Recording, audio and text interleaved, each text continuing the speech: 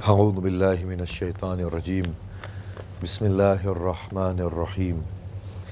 الحمد لله رب العالمين الذي هدانا لهذا وما كنا لنهتدي لولا أن هدانا الله. والصلاة والسلام على أشرف الأنبياء والمرسلين شفيع ذنوبنا وطبيب نفوسنا وحبيب قلوبنا بالقاسم محمد.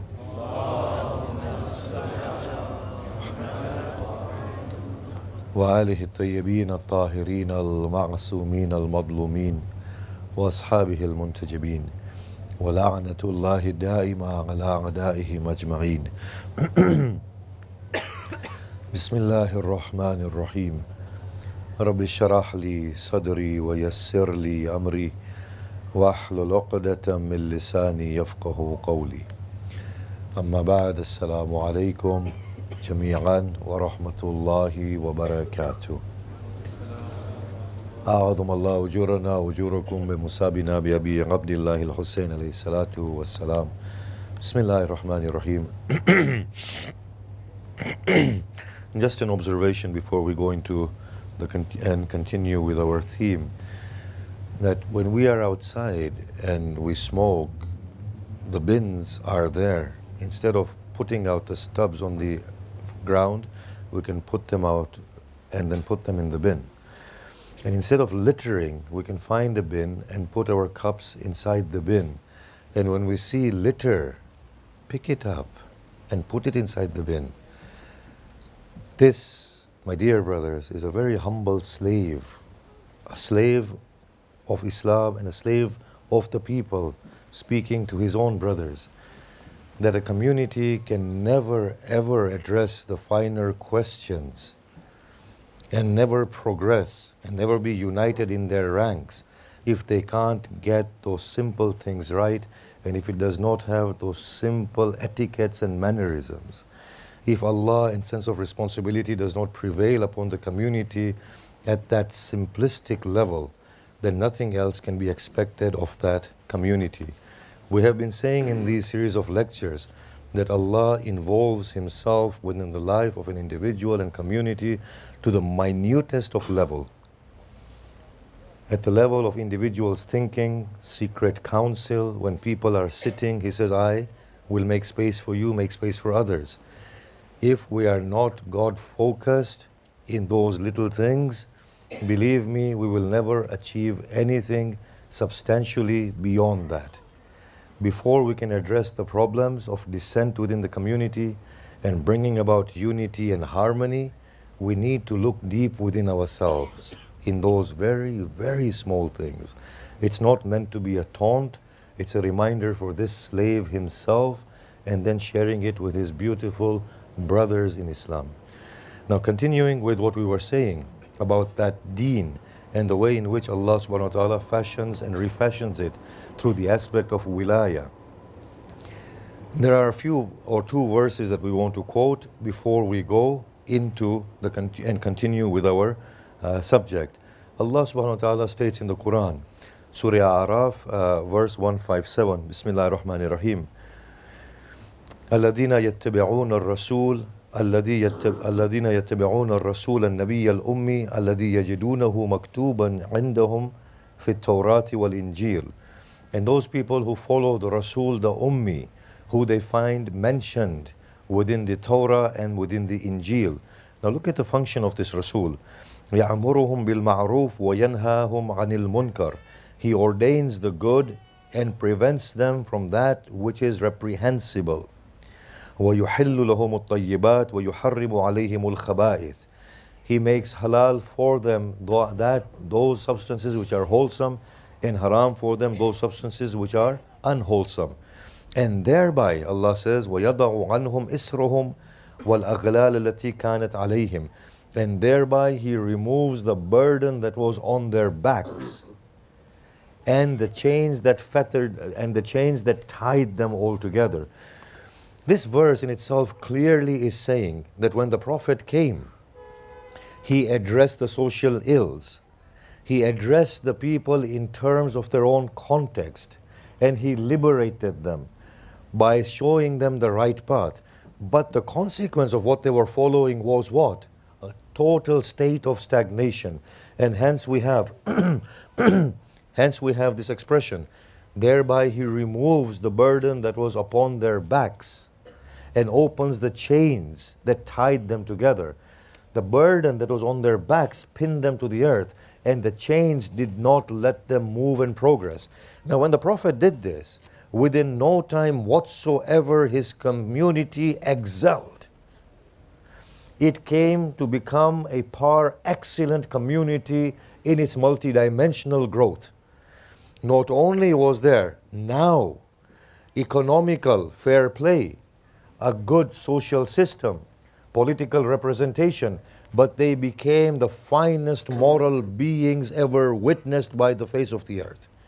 And in no time after the demise of the Prophet, these were the people who were exploring the waves and ruling them. These became the scientists, the explorers, the intellectuals, the philosophers, the mystics, the interpreters of the Quran. How did he achieve it? He merely removed the blockades that were there, the burdens that were on their back, the chains that shackled them. All he did was he liberated them and placed them back on the track of growth and evolution. The rest of it was done by the community itself. The prophetic community is known as a civilization. We do not get this title without achieving it. Civilization are those that move the human community forward in its evolutionary and progressive trend. The only thing the Prophet is doing here is he is lifting their burdens, breaking their, breaking their shackles by showing them the right path, by showing them that all these customs, conventions, beliefs, superstitions, all these schemes that you have within your society are counterproductive, are causing stagnation.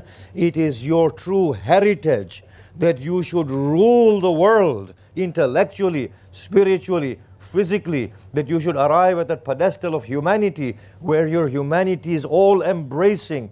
Not only does it accept, not only does it tolerate the other, but it is confident enough to embrace the other and accept the other on the terms of the other. That is all the Prophet did the Prophet's teachings were simple. And that was the great appeal within the Prophet. Everything he said, the people said, We make sense of this. Otherwise, the Sahabas had a God given right before becoming Sahabas to say to the Prophet, Oh Muhammad, this does not make any sense whatsoever.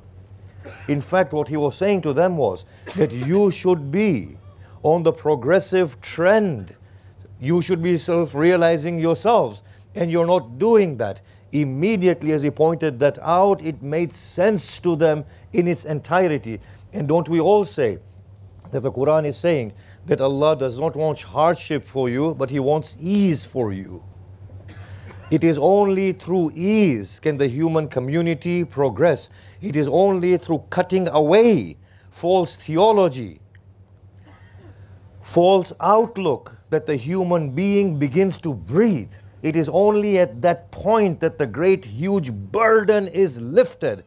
I may stand in front of Allah and say to my Lord with full confidence, You have made me this inquisitive individual from within. I cannot accept you the way the Muslims are portraying you. You can never be my God. For that, Allah welcomes me, not shuns me. Because Allah has created this in me. The whole of this nature has been vested within me by Allah subhanahu wa ta'ala. The whole of this trend that the prophetic community had prior to the prophet that do not ask questions. This is the status quo. If you do this, you will go to hell. The prophet came and changed it all. He said, The paradise is yours for the taking, the world is yours for the taking. Allah is yours, claim Him. You do not need anybody to reach Allah. Allah is with you, and this is the way Allah introduces Himself. وَنَحْنُ أَقْرَبْ إِلَيْهِ مِنْ حَبْلِ الْوَرِيدِ And we are closer to that soul than his own jugular veins.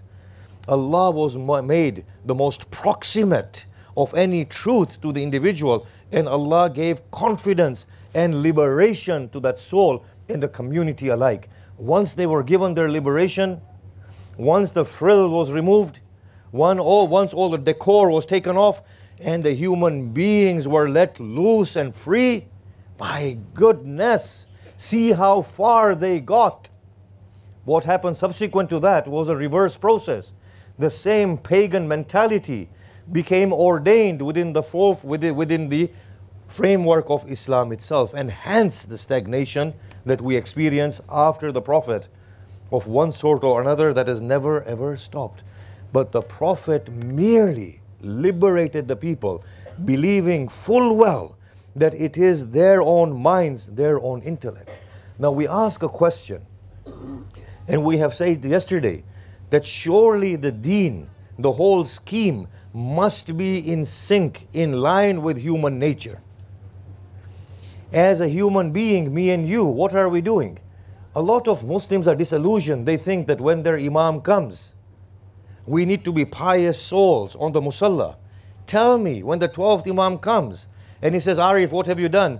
I will say, I've only had the tasbih in my hand and reciting the word and the chant and the dhikr of Allah subhanahu wa ta'ala. He will ask me, Do you know anything about economics, about commerce, about medicine, about technology, about the banking system, about sociology, about politics, about interfaith relations, about interfaith relations, about international relations? And I will say, No, oh, Mahdi. He will say, Then in that case, I will ask them to sustain you from my treasury because you are next to useless to me. How false is the impression that we have got of righteousness, of truth, of where we actually belong. And then he will tell me that did not my grandfathers, the Prophet, expend all his life tirelessly for bringing about a glorious community. You have become so highly individual centric that you have forgotten the whole worth and the purpose of the community. What are we doing? By the way, we are pointing at that point we need to make today about collective intellect, the collective experience. Then we ask, then we go into another verse. And look at this verse. ليس البر أن تولوا وجوهكم قبل المشرق والمغرب. Now, you know, when the Qiblas were being changed from Mecca to Jerusalem to Mecca, the people were constantly mocking at the Prophet from the outside camps, the uh, polytheists of Mecca, the Jews and the Christians. And the Muslims were constantly entertaining skepticism and doubt about the Prophet. That why is he doing this? There is no piety in doing this. There is piety in facing Baytul Muqaddas. Allah responds immediately. There is no goodness in turning your faces to the east or to the west. Whether it be Mecca or Jerusalem, there is an essence to the truth here. These are the forms of the truth that we've been talking about. The deen is fashioned and refashioned. And Allah immediately is pointing at the essence of the deen. That the deen is being fashioned by Jerusalem or by Kaaba. Whatever is been fashioned by, the true deen is hidden within it. There is something else. وَلَكِنَّ الْبِرِّ Righteousness and goodness in its entirety, Allah says, Man amana billah is with the one who brings faith with Allah, the central tenet. وَبِالْيَوْمِ الْآخِرِ The central tenet, which we talked of as being the acquisition of the self in its entirety.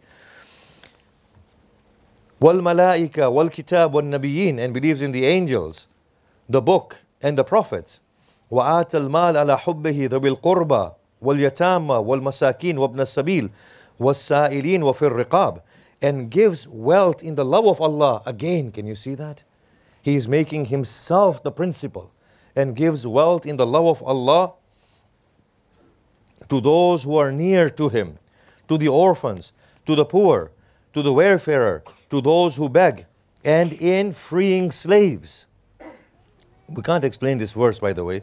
وَقَامَ الصَّلَاةُ وَآتَ الزَّكَاةِ And he establishes prayers and gives the poor due. That is in the legalistic sense. We see from this verse actually that Allah subhanahu wa ta'ala is pointing at that vertical relation in the, initially.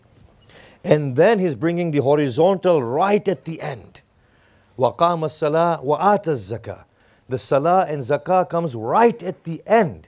First, it is no good, he is saying. There is no value in turning to Kaaba or to Baytul Muqaddas. East and West means next to nothing to Allah subhanahu wa ta'ala in this scheme. The whole entirety of the essence of deen is belief in Allah, belief in the hereafter, and that is acquisition of the soul. Then the prophets and the malaika and the kitab. And then after that is that moral growth of giving in the way of Allah subhanahu wa ta'ala. And then finally, and then finally, the formalistic principles of deen are introduced. Aqam as-salah wa ata zakah. This is exactly what we've been trying to say. That there is a primary and there is a secondary. The deen in essence is that connectedness with God, that beautiful social balance an individual balance within the life of the individual between the body and the spirit, and that is fashioned and refashioned. And this is exactly what the prophets have been doing all along. The final prophet does this, the Quran does this. The progeny of the prophet has been doing this all along. If you read their examples accurately, what happens now at the end of the road when the twelfth one is in occultation? What happens then? What do you do at that point? Here we have this central notion of taklif. Taklif means responsibility. If you look at any of our books in jurisprudence, they will say you are mukallaf. You are vested with responsibility.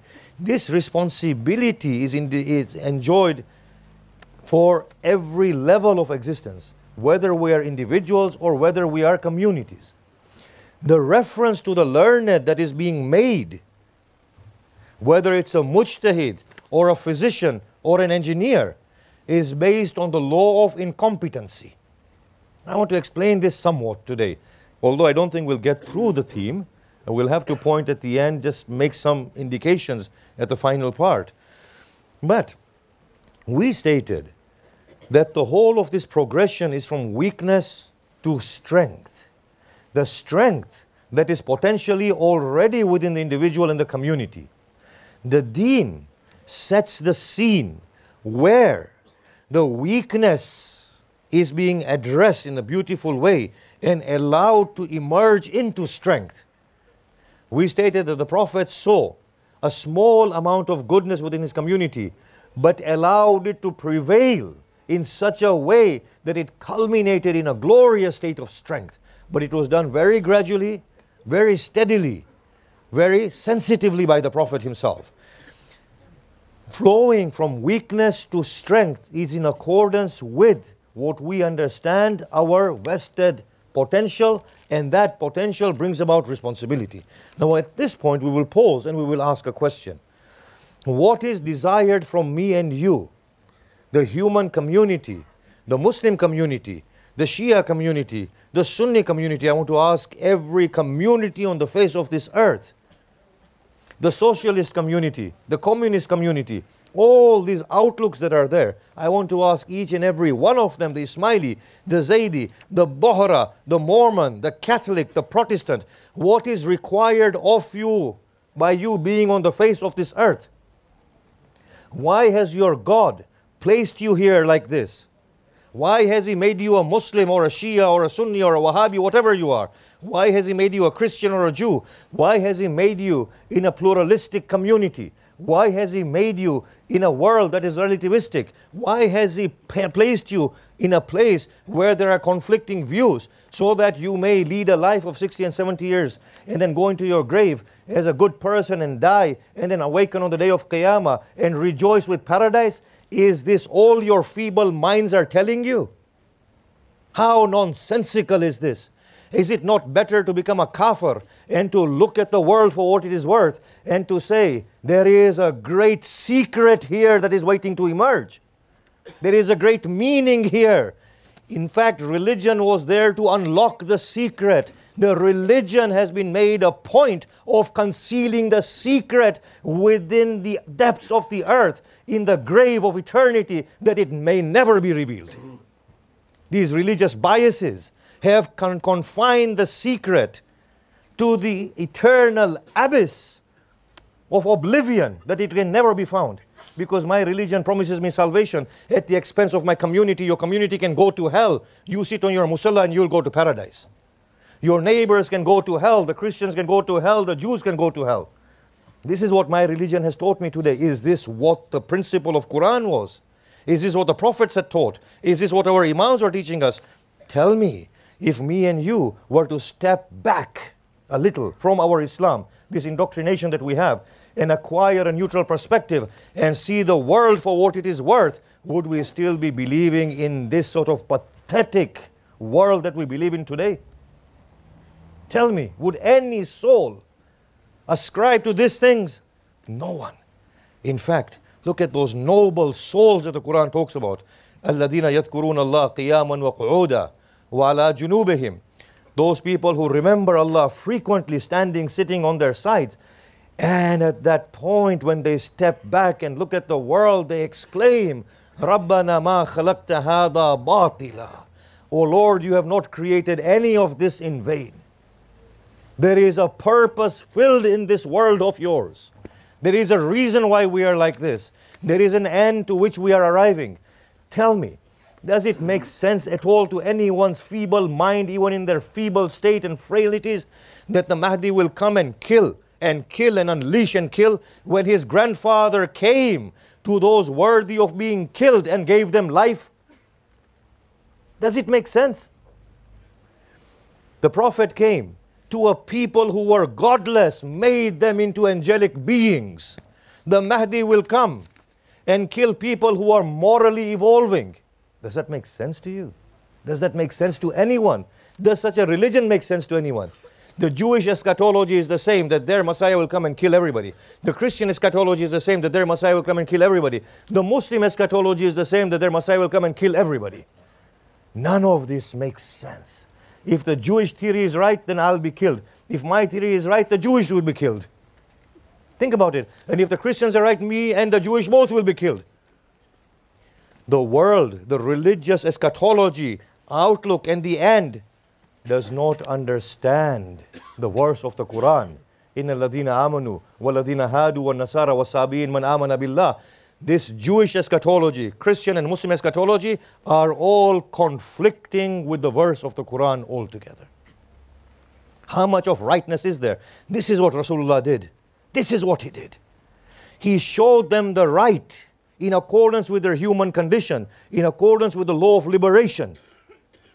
He gave them that social balance and thereby lifted this burden of nonsensical thinking that was pinning them to the earth and thereby broke the shackles that tied them down and opened them up so they embraced the glorious world.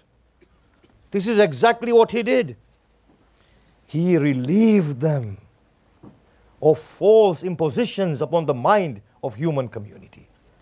When the Mahdi comes, I expect a world, as the hadith says, in which a fox and a hen can live side by side in harmony. By priority, a Jew and a Muslim will live side by side by priority. If a wolf and a sheep can live together, then by priority, two human beings will live together in harmony, in peace, at a level when the intellect has progressed so much that they've arrived at that commonality of progression, those tools of progression. When we talk about Taklif, we are talking about a very noble concept. The taklif of every individual and every community is in accordance with their strength and potential. The taklif of a child is very different to a taklif of a young man. If a child comes here and starts shouting and clapping, we would not think much about it.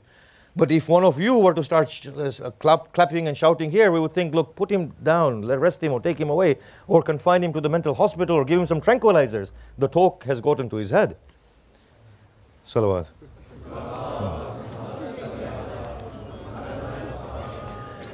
Taklif is in accordance with our own potential.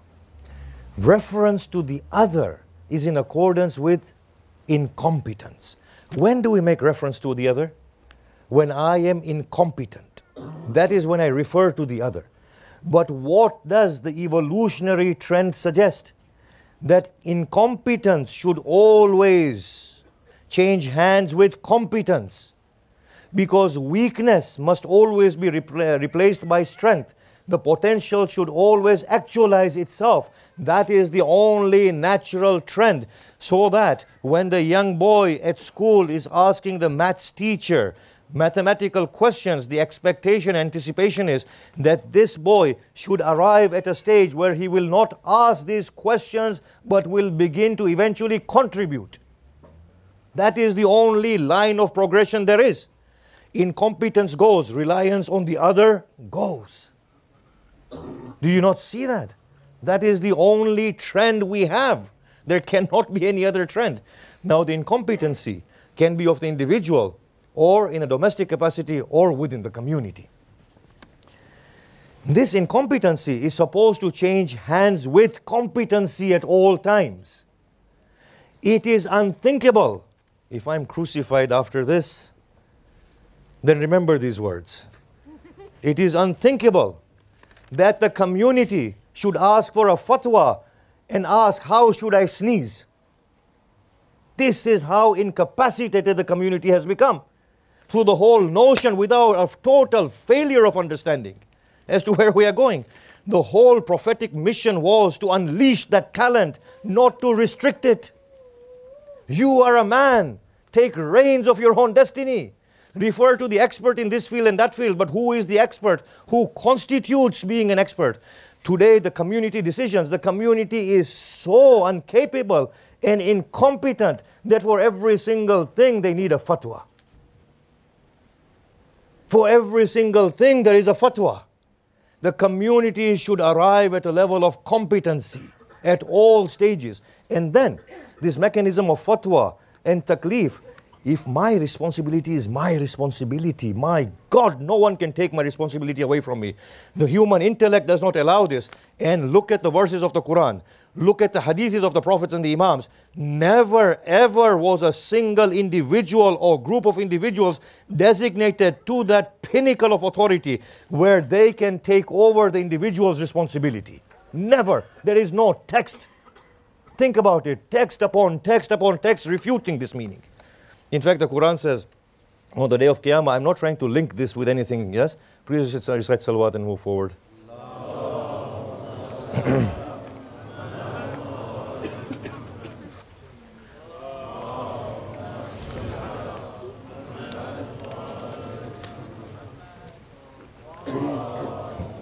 Still as far forward as possible. In fact, the Quran says, and I'm not trying to link anything and I'm not trying to hurt any sentiments, yes? But we need to explore this fully. The Quran states that on the day of Qiyamah, people will be said, why, the people will be asked, why did you do this? They said, well, we followed our elders. Allah will say, well, now burn with them. Did I not give you a mind to think? There is an example that an emissary of the Prophet went to a community, he said to them, dig a trench. They dug a trench. He said, now fall and now fill it with firewood and light it. They lit it. He said, now fall into it. Some of them were ready to fall into it, the others refused. The news came to the Prophet. The Prophet said, By Allah, if anybody would have fallen into it, Allah would have burnt him in the, in the fire of hell.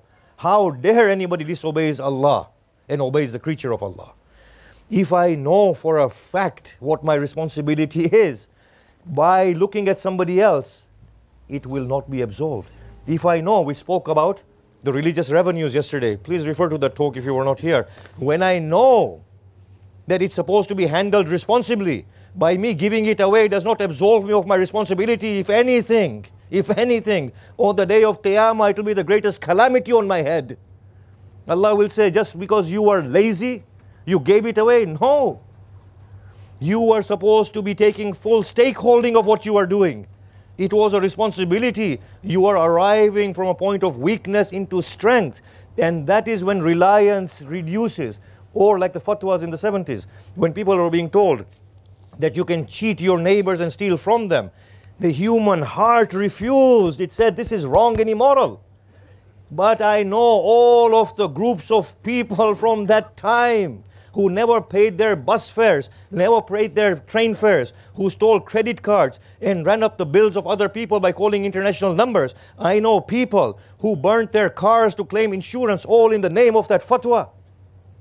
Can responsibility ever be absolved when the heart knows the truth? Never. This taklif means that we are vested with responsibility in accordance with our aptitude. There are certain moral rights and wrongs that can never be challenged. It is like challenging Allah's authority no matter what the fatwa says. It doesn't make sense. It's nonsensical. As I said, I know after this I'm going to be crucified.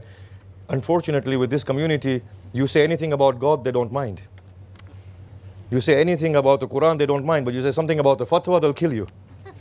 Salawat.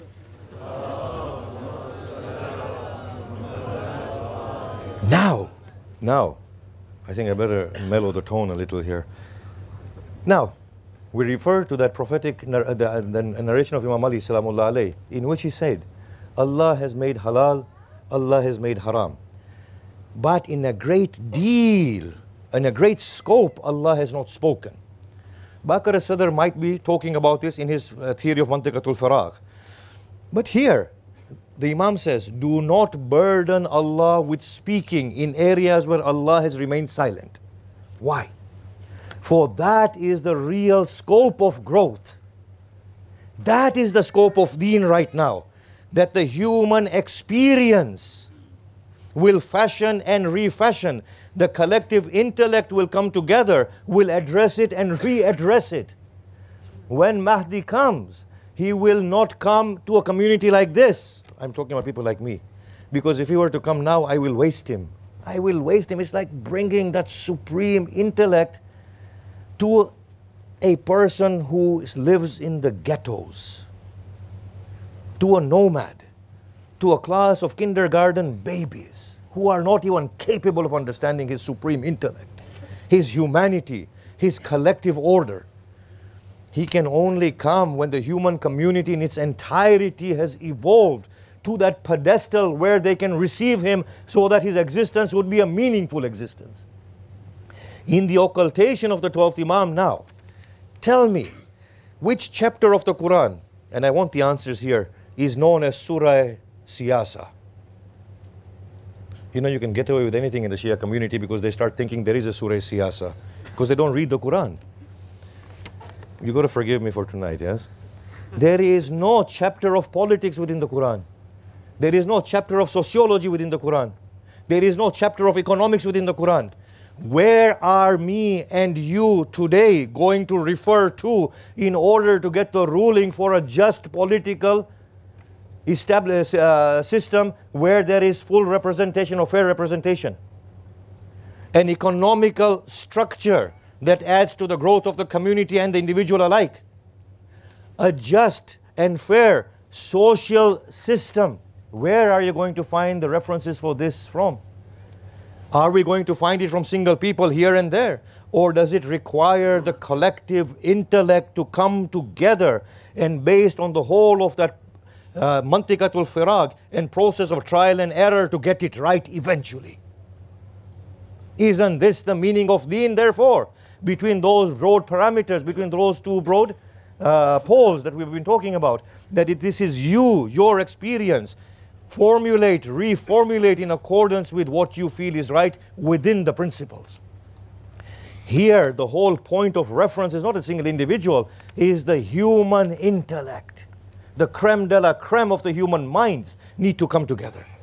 When I talk about the situation of euthanasia, it is not the job of an individual who doesn't have an understanding of the theory of suffering the notion of suffering and how suffering adds to human growth, that spiritual growth.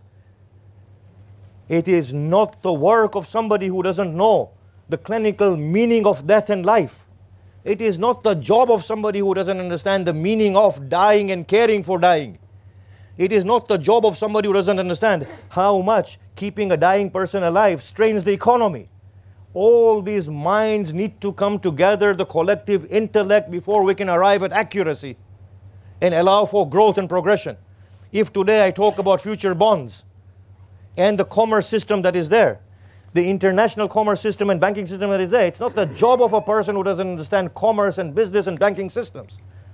People say riba is haram. I will ask the first question what is the meaning of riba and why was it haram? In order to arrive at an understanding what riba means altogether and where it is useful and socially productive and where it is detrimental. This is what we have been saying again and again about the collective intellect coming together. The collective human beauty needs to come together. in its entirety and create those establishments, create those institutions which then can serve us to go forward in accordance with the challenges that are being posed upon the community in terms of the world's evolutionary growth and trend. As the world is growing, paradigms are shifting, morality is changing. There are so many problems being posed by the evolving world. There are no responses to it, no direct responses to it. There are only principles. That is why the great intellect of the Prophet was there to fashion and refashion. That is why the wilayah of the Imams was there to fashion and refashion and to address it within the principles. At the occultation of the 12th Imam, no individual may occupy his seat save for a very brief era of time when the community is extremely immature. But in the 21st century, it has to be the collective intellect now that produces the answers and moves forward. The Imam had said in one of his hadiths, علينا إلقاء الأصول وعليكم أن تفرعوا that our job is to give the principles, it's your job to ramify them. Now, the Usuli mind has understood this that the Imam was meaning that it's our job to give the principles of law and it's your job to find its application. I'm saying no. The Imam was saying it is our job to give you the principles of liberation. It is your job to fashion it in accordance with the need of your time. Who can deny at this point in time that the Islam, in the way that I and you have understood, is not responding to the challenge that is posed in front of us? That it is not allowing us to grow, it is not allowing us to function properly. Who can deny? But a person who is not in this real world, the world in which we are. Look at the 40 years that we have been here from the 70s till now, how much our attitudes have changed because of the changing of the context.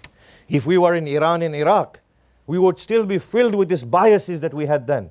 Today, a new world has opened to us. Inadvertently, we've grown into the new world. Imagine if we can have the mechanism of deen operating properly we would not accidentally be arriving at these truths, but this would be directed growth. And it would be the most beautiful growth ever. As I said, I don't have the time today, but I just need to point at one or two more things. The growth of the mind, the growth of the mind, the collective mind, is always, as somebody pointed out four years ago, in the Hegelian dialectic system. I just want to explain this. What happens is that we have La ilaha illallah and Muhammad Rasulullah. What happens here is that we have a way of life, a system that we follow. La ilah talks about unfolding it, unraveling it. But we always need a direction, and that's Muhammad Rasulullah. So we then go to a newer understanding, which then is dismantled, which then adds with the former one, and it is reassembled. So the human growth is always like this. It's always like this, in a triangular shape. It comes, it serves. When the needs arise, it is re looked at and then reformed, re looked at, reformed. And this is what Deen has been doing always. The salient feature of growth is refashioned at every era. The prophets did the same, the Imams did the same. At the absence of the Imam, it's the collective intellect and the specialists within the human community that are vested with this responsibility and taklif that they cannot shift at all. They cannot shift. They are the ones who are vested with this responsibility. And me and you have the responsibility at every level of our existence, whether it's individual, domestic, or at the level of this Birmingham Jamaat community of ours. We are vested with responsibility which we cannot move off our shoulders. Deen empowers us to take the challenge and to grow into the responsibility and grow through the responsibility. However, we stated that there were spiritual consequences to this theory. The spiritual consequences are that once we become God centered, once Allah subhanahu wa ta'ala becomes our focal point, then in that case, there is a new world that opens to us. You do not find the production of the likes of Hussein ibn Ali from thin air. These are people who are highly directed to Allah subhanahu wa ta'ala. You don't find such individuals that were there with Hussein ibn Ali accidentally coming together. These are products of their environments that has produced them. God centricity at the spiritual level means that a person abides by La ilaha illallah.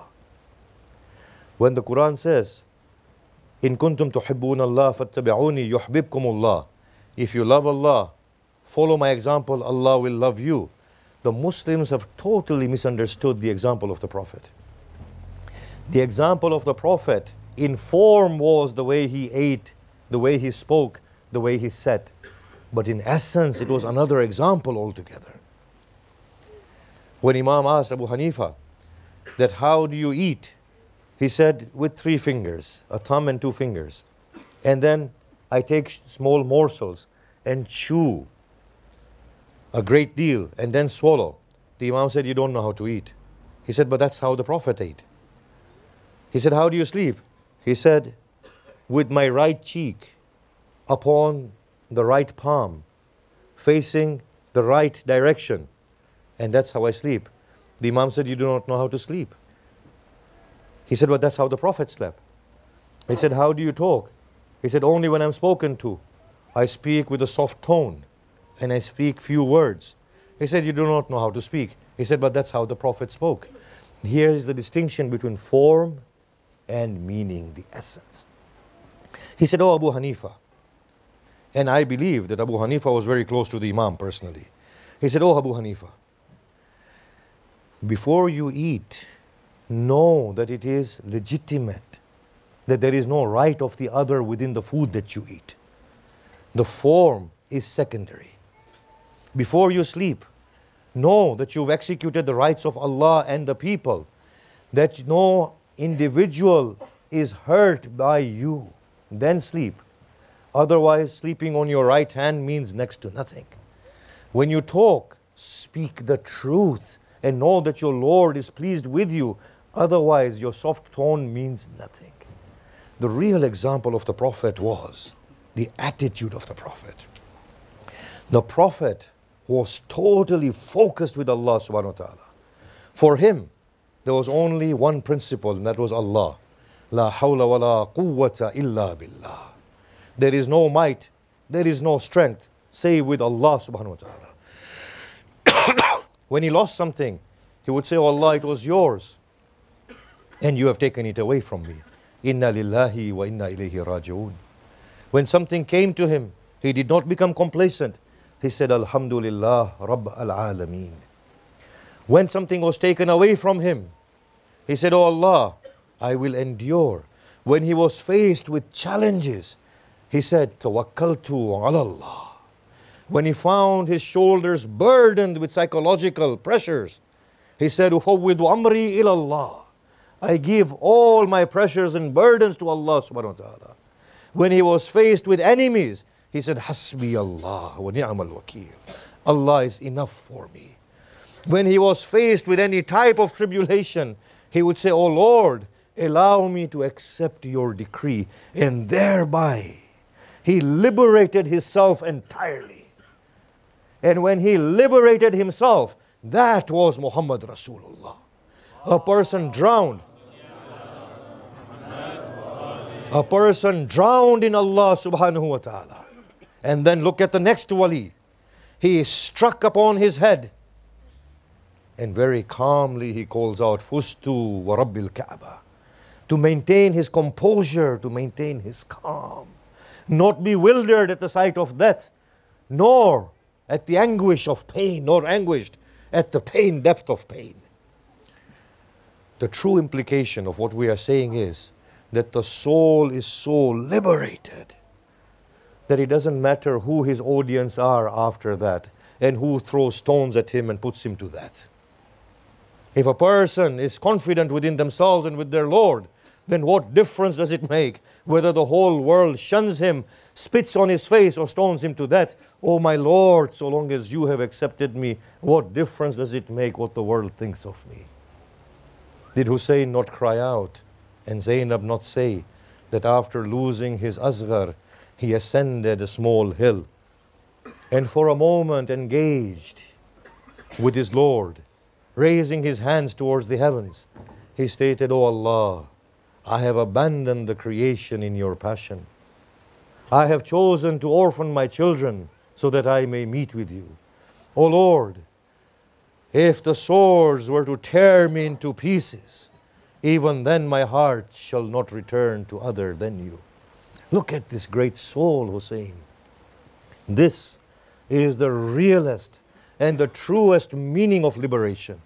Today, I am worried about what will happen to my business. I have seen finest of man being challenged with money matters and wavering in their resolve. And I think, Subhanallah, Subhanallah, Allah had to reveal this about you.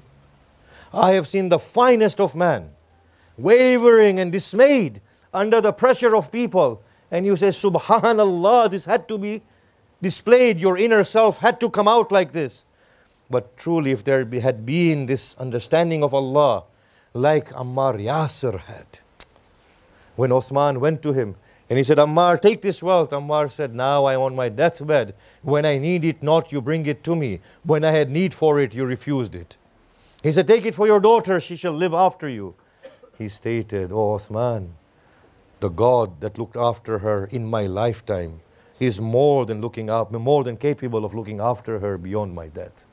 Look at the state of inner liberation, where the truth is the focal point. It doesn't matter whether the world collapses, or the Qiyamah comes, or the people become enemies, or the wealth is taken away. What difference does it make? That is the truest liberation.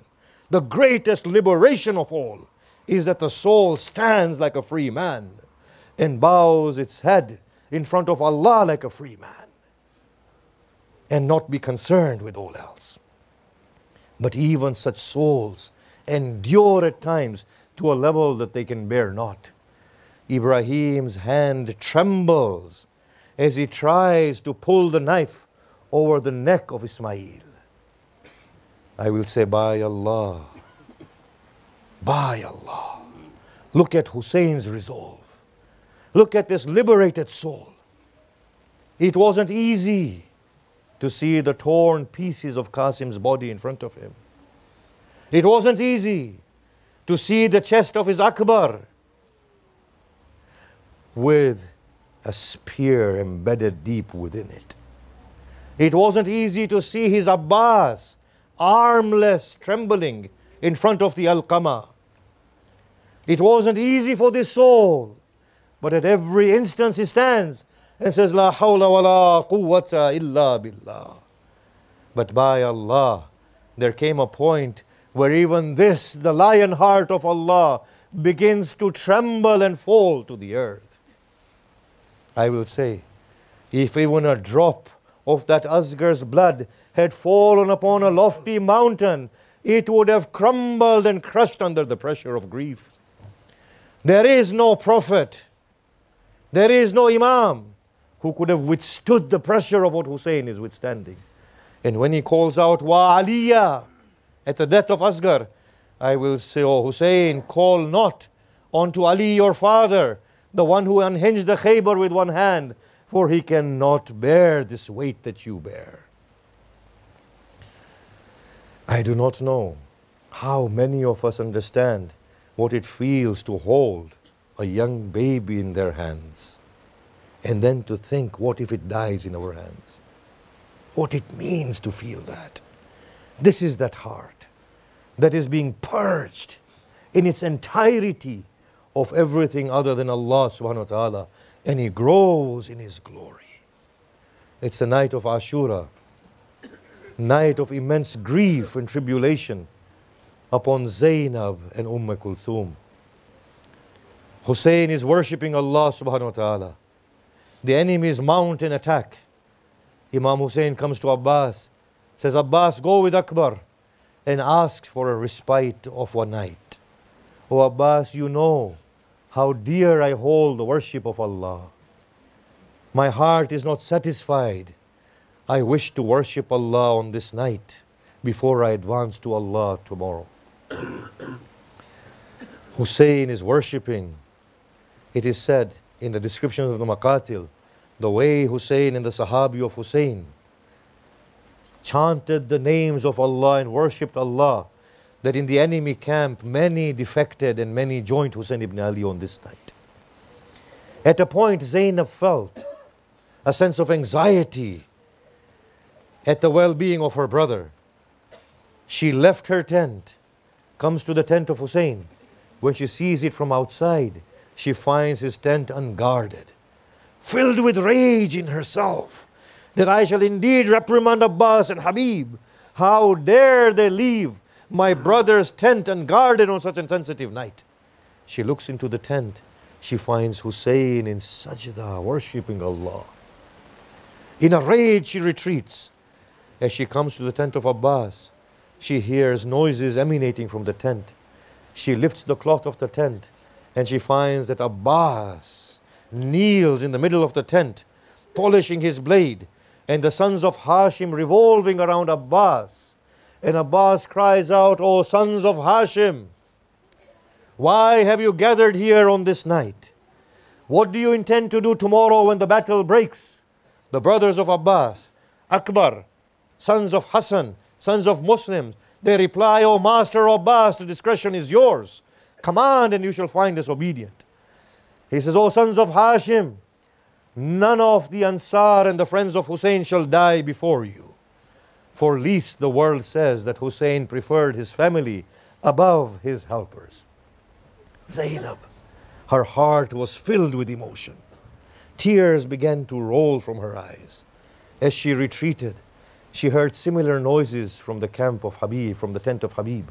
She lifts the cloth of the tent and she finds Habib in a similar way she found Abbas, polishing his blade and the Ansar rotating around. He said, O Ansar, O helpers of Hussein, what brings you here on this night? And what do you intend tomorrow when the battle breaks out? They said, O Master, O Habib, the choice and decision is yours. Tell us, and you shall find us obedient. He said, None of the family of Hussein shall die before you tomorrow. Least the world says that the Ansar of Hussein held their lives dearer than the family of Hussein. Zainab is further filled with emotions. Tearful as she is retreating, she finds Hussein advancing to her. When she finds Hussein advancing to her, she wipes her tears and breaks into a smile. Hussein looks at her and says, Oh, sister, what brings a smile upon your lips? You have not smiled since the time we left Medina. She explained to Hussein what she has seen and what she has heard. Hussein says, Oh sister, do you wish to see the level of loyalty of my Sahaba and my family? Indeed, O oh brother, he said, stand behind that tree and observe. Hussein calls out, O Abbas, O children of Hashim, come to me. O Habib, O Ansar, hasten to me. They came running and they said, Oh, Master, command. He said, It is the night. Take the covering of the night and spare your lives. For by Allah, when the day breaks, these people are thirsty of my blood. They shall not spare me even if you die, but you can spare your own lives. And I lift the obligation of the Pledge of Allegiance from you. No sooner that Hussein had said that, all of them drew their swords and placed them upon their own necks. They said, O Hussein, do you doubt our loyalty? By Allah, if you were to command us, we would cut our own heads and place them at your feet. Muslim ibn Awsaja stands. Muslim Hussein said, What shall you do tomorrow? Muslim ibn Awsaja responds, O Hussein, we shall engage your enemy with our swords. When the swords break with our spears, when the spears break, we shall throw stones at them. When the stones finish, we shall fight them with our bare hands. O Hussein, if our arms are cut, if our heads are cut from our bodies, if our bodies are cut into a thousand pieces, if after that we are burned to ashes, If our ashes are scattered in thin air, we shall plead with Allah to restore us once again, so that we may die over you time and time again. Hussein looks at them and says, Oh Allah, bear witness that no prophet, no wasi, no imam has received such loyal companions as I have. He looks at them and says, Look towards the heavens. When they look towards the heavens, they see the paradise. They say, Oh Hussein, allow us to give our lives and to receive this grand glory. Hussein says to them, Your time shall come. Then Hussein says, O people, O Ansar, if any of you have brought your women and children with you, then take them and escort them to the Qabila of Bani Asad. Know full well that after my death, my sisters will be enchained and my children will be taken as captive. Ali ibn Madahir, the brother of Habib ibn Madahir, Habib ibn Madahir, comes into his tent. His wife asks him, Oh Ali, what did Hussein say? He said, I must take you to the Qabila of Bani Asad. He said, Why? He said, Because Zainab will be taken as captive and you would be spared this humility. She struck her head against the pole of the tent. She said, Sorrow be your lot, O son of Madahir. Shall the sister of Hussein and the daughter of Muhammad and Fatima be taken as a captive and your wife be spared? Go and give your life for Hussein and let me be with my mistress Zainab. The night deepens.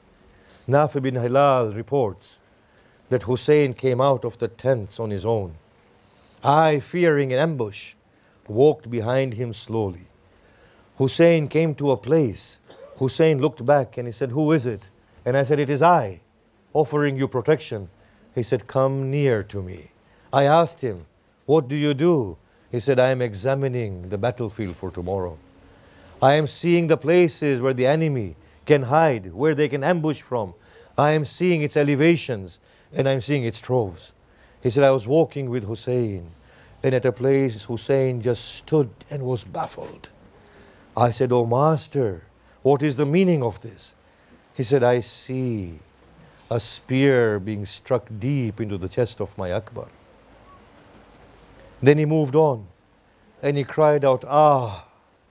I said, Oh, Master, what do you see? I see my Abbas trembling, armless at this place. I walked with him and he fell to his knees. I said, Oh, Master, what do you see here? I see my little Asghar's neck being torn from ear to ear. Hussein stood. He went on. As he went on, Nafi asked, Oh, Master, what is this place? I hear the wailing of a woman. He said, Nafi, this is where your Hussein will be slain. And these are the cries of my mother Fatima. The day of Ashura comes. All have given their lives. This is what we find. Hussein ascends his steed, looks to the right, looks to the left. With a broken heart cries, Hal min nasir yansurna. Hal min mughith yughithuna. As he cries out, cries emanate from the tents behind him. He runs into the tent, says, Umm Kulthum, has a child lost their life? Umm Kulthum says, Oh, brother, every time you cry out for help, your Asghar turns in his cradle. Oh, Hussein, he has not been fed for three days. The child will die soon of thirst. Oh, Hussein, I know you will not live for long. Bring some water back for Asghar. At least Rubab can retain your sign after you. Hussein says, Give me my child. Hussein holds him to his bosom, places his Abba above Asghar, settles his steed, and goes towards the ranks of the enemies. The enemies feel for a moment that Hussein has brought the Quran to intercede for him and to arbitrate. Hussein lifts his cloak and reveals Asghar. He raises him upon his hands and says, O people, observe this child. He dies of thirst. What wrong has he done to you? You have killed my brothers. You have killed my sons. You have killed my helpers. What wrong does this child do to you? O people, if you are in any doubt that I shall drink your water, then come and place a drop of water into his mouth by yourselves. As Hussein says this to the, to the people, they begin to turn their faces and begin to weep and lament. Ibn Sa'd, witnessing the scene, fearing a reprisal, turns to Harmala. Harmala, iqta'a kalam al-Hussein. Harmala, cut short the speech of Hussein. Harmala mounts a three headed arrow within his bow. His hand trembles. Harmala remains, uh, Ibn Sa'd remains silent. When he observes this a second and a third time, he says, Harmala, do away with Hussein and finish him off. Why do you tremble such? You have the steadiest of hands in the whole of Arabia. He said, Ibn Sa'd, look on. May that be the mother of this child who comes out of the tent and goes back bewildered? Harmala, look not at the woman. Cut him. Harmala aims at the child. Hussein raises Asghar upon his arm, hands, and engages with Allah, O Allah, accept Hussein's final offering. Deprived from the lap of a mother, I have deprived the lap of a mother who has no another. O Allah, accept him and relieve me and take me. As Hussein is pleading with Allah, the arrow is released. It cuts through the air. As Hussein is pleading with Allah, it penetrates into the young neck of Asghar, thereby tearing it ear to ear. The young baby turns and flutters upon the hands of his father. It is said that the scene was so shocking that Hussein loses his senses. Hussein no longer knows what has happened. Hussein is stagnant like a statue, not moving. After a while, the hot blood oozes from the neck of Asghar and drops into the palm of Hussein. As he realizes that Asghar has died, he begins to tremble uncontrollably. He says, Oh Allah, and he pleads with Allah, and he begins to tremble. He moves forward and stops, moves backwards and stops. He cries out, Inna lillahi wa inna ilayhi raji'un. Hussein trembles. I ask Hussein, O oh Hussein, have you not lifted the cut arms of Abbas, the torn body of Qasim, extracted the dagger from Akbar's chest? What weight does this baby have? Oh Hussein, move forward. Hussein refuses to move. There is a cry from the heavens. And the heavens say, Oh Hussein, let him be. Give him to me, he is mine. When Hussein hears this, he takes the blood of Asghar, wipes it upon his beard. He looks to the earth, the earth trembles. Looks to the heavens, the heavens shake. He says, O Asghar, like this, we shall be raised and be presented to your grandfather and my father. Hussein moves forward slowly. Hussein, as he comes towards the tent, this is what we hear. Sakina runs out of the tent and she says, Oh Father, give me my brother back to me. Umm Kulthum is behind Sakina. Rubab is behind Umm Kulthum. As Imam lifts the clock of his Abba, and they see Asghar, they cry out, Wa Asghara, are the likes of you slaughtered in this way? Matim Hussein.